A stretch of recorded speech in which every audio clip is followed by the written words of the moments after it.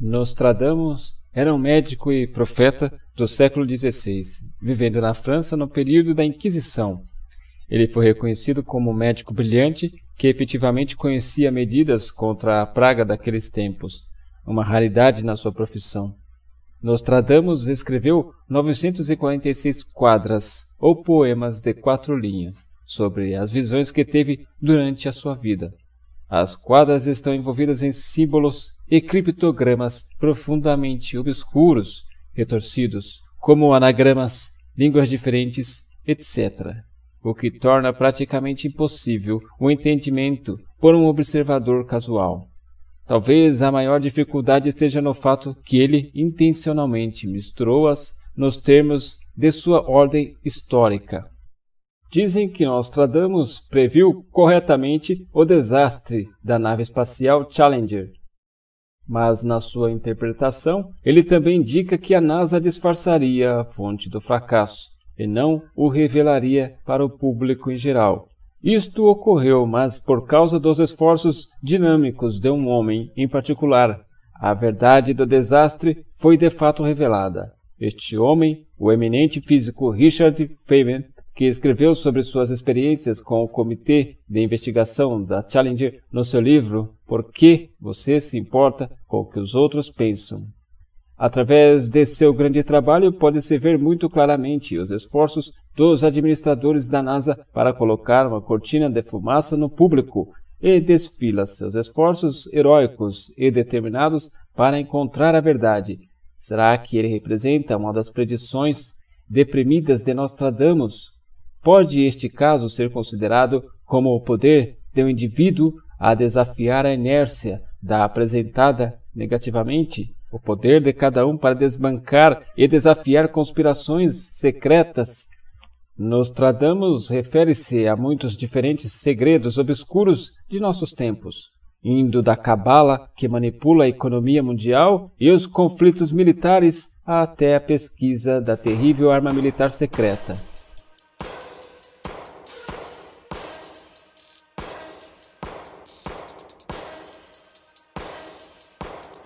Sobre o Anticristo, Nostradamus disse o seguinte: O Anticristo se tornará um líder mundial, mesmo fazendo uso ruim de seus poderes. O significado na raiz de seus nomes darão a chave de seu destino e do que ele é capaz. O nome soará como algo bárbaro para os ouvidos europeus. Ele será influenciado por velhos costumes conhecidos na literatura, mas em geral esquecidos. O anticristo será pior que Hitler. Ele terá sucesso nas conquistas, mas somente ao custo de muito derramamento de sangue pelas armas convencionais, mas salvará seu arsenal nuclear para ações inenarráveis. Mais adiante, tantas pessoas serão mortas que os sobreviventes não serão capazes de enterrá-las. As pessoas do mundo se acostumarão à visão de cadáveres e o sinal da morte não deixará as pessoas melindradas porque estarão cercadas por ela. Ele será educado no Egito por causa de sua atual estabilidade e posição estratégica no Oriente Médio e África do Norte. Os levantes sociais dos tempos contribuirão para deixar o caminho aberto ao anticristo continuar. Vários países terão sua estrutura política e social totalmente revirada fanáticos religiosos chegarão ao poder e acreditam que são justificados nas suas campanhas draconianas. O fervor religioso permite ao anticristo chegar ao poder através de astúcia persuasiva. Seus seguidores verão nele uma figura religiosa. Apesar da massiva propaganda das campanhas do anticristo, que pintam um quadro enorme e extraordinário de suas conquistas mundiais, Outros lances de horríveis atrocidades atrás das cenas serão evitadas. Ele não será capaz de viver com a imagem que seus seguidores projetam dele.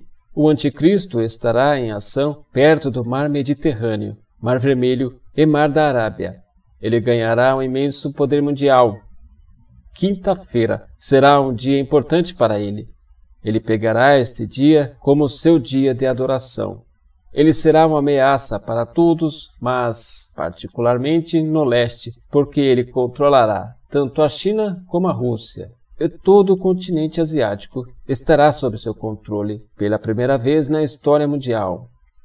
Os levantes sociais e políticos orquestrados pelo Anticristo serão particularmente sentidos nos países desenvolvidos do norte de climas mais frios. Durante este tempo, sociedades serão dilaceradas e lançadas no caos e na confusão. Alguns aparecerão como falsos profetas, clamando possuírem as revelações divinas e conhecerem o caminho da salvação para as pessoas. Por um curto período, o reinado do Anticristo em seu reino não apresentará lutas por causa de sua polícia de Estado, mas as pessoas começarão a se rebelar em memória das perdidas liberdades. Haverá muita morte e destruição, com muitas pessoas morrendo em defesa de seus ideais. Profecias da revelação se aplicarão, como a citação sobre rios de sangue na altura dos arreios do cavalo. Os tempos serão extremamente violentos e traumáticos. Haverá muita guerra e sangue de suas armas. Um monstro nascido de uma horrível besta. Alta radiação causará grandes deformidades. Terríveis mutações na natureza, nas plantações e nos animais, como também na Mãe Terra. O Anticristo desenvolverá uma filosofia sistemática Rússia e China serão vulneráveis à filosofia por causa de sua passada receptividade ao comunismo. O anticristo usará sua filosofia como uma maneira de conquistar o inteiro continente asiático antes de se preparar para dominar o resto do mundo. Suas filosofias serão propagadas através da manipulação de diferentes instituições de poder político. O anticristo estudará e emulará Hitler e suas técnicas avidamente, desejando ultrapassá-lo e evitar seus erros. Terá acesso a livros e material não disponível ao público em geral. Ele terá a possibilidade de obter documentos nazistas secretos sobre Hitler e ele os estudará com muito cuidado. Como as últimas quedas de muitos tiranos, seu império e poder serão sempre instáveis. Seus próprios subcomandantes terão fome de poder e sua autoridade estará fragmentada à sua volta. O mapa político do mundo, as fronteiras de países serão modificadas, mas os continentes do mundo ainda permanecerão na mesma forma. O Papa atual será assassinado pouco antes do aparecimento de um cometa que será claramente visível no céu do hemisfério norte. Sua preocupação com a condição humana o levará a arranjos de viagens traiçoeiras, que serão sua queda. O Papa seguinte será assassinado pelo Anticristo, porque não se submeterá aos seus pedidos. O assassinato permitirá ao Anticristo instalar sua ferramenta no escritório. O penúltimo Papa eleito após o assassinato do atual terá um curto reinado, Devido a erros grosseiros, ele pavimentará o caminho para que o último Papa seja a ferramenta do Anticristo. Seu reino é um presságio da queda final da Igreja. Antes que o Anticristo chegue a deter poderes totais, parecerá que outros líderes estão acima dele e no controle da estrutura do poder. Na realidade, o Anticristo os está utilizando como pedras no caminho para sua conquista de poder mundial. Durante este período haverá um cardeal traidor trabalhando para ele, espionando o penúltimo Papa. Um dos cardeais roubará informações dele e alterará correspondência pessoal do Papa, de forma que apresentará diferentes contações. Isto fará com que a situação pareça pior do que é na realidade, fazendo com que o Papa reaja de forma inapropriada. Assim, o povão estará propenso a vê-lo como incompetente e desestabilizará sua autoridade, possivelmente sendo assassinado. O cardeal terá problemas por sua traição por causa das óbvias dissensões que causa a igreja. Mas ele é um aliado do anticristo e racionalizará a punhalada que deu pelas costas. A traição do último papa.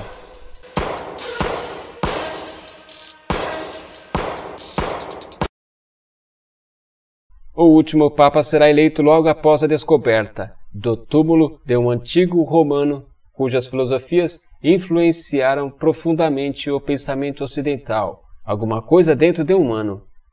Este é um Papa venenoso que é apenas uma ferramenta para o Anticristo chegar às vias de fato na destruição da Igreja Católica. O último Papa provavelmente será francês, de compleição escura e olhos azuis. Haverá um ar de mistério em torno dele. Ele apresentará um defeito físico qualquer, como um ombro corcunda ou um pé torto, um defeito congênito no osso. O defeito não foi causado por ferimento, ele nasceu com ele. Sua mente foi torturada por essa deformidade e a crueldade e a indiferença das pessoas para com os que são diferentes. Ele entrou para a igreja muito jovem, por desespero e amargura, por saber que nunca conseguiria uma garota que o amasse e se casasse com ele. Seus pais estiveram envolvidos com o movimento nazista na França e seus colegas de escola aborreciam com nomes como amante nazista. Este Papa poderia ser alguém gentil se não fosse pelo meio ambiente de sua infância e suas experiências, mas foi levado à crueldade pela dor e quer devolver ao mundo pelo sofrimento que padeceu quando jovem. Esta é uma fraqueza que o anticristo explora. Este Papa vai querer mostrar a seus inimigos: olhem para mim, eu sou poderoso, eu posso fazer, sou melhor do que vocês. Depois que chega ao poder que ele deseja, ele será indiretamente responsável pela matança de pessoas inocentes por causa de seu alinhamento com o Anticristo. Ele próprio não matará ninguém, mas abrirá avenidas para que o Anticristo faça, particularmente aqueles que o machucaram quando ele era jovem. Este futuro Papa agora parece gentil na superfície, porque é vantajoso para ele que o percebam desta forma. Mas o lado sinistro de sua personalidade está profundamente enraizado. O último Papa trairá a sua igreja por revelar informação extremamente crucial e sensitiva para o Anticristo, informação que o Anticristo jamais poderia obter, mesmo com espiões dentro da própria igreja. Homens poderosos envolvidos com religião e política fundamentalista, espertos na manipulação, propaganda e na distorção da palavra de Deus para seu próprio bem, estarão reunidos para obter pontos chaves no governo.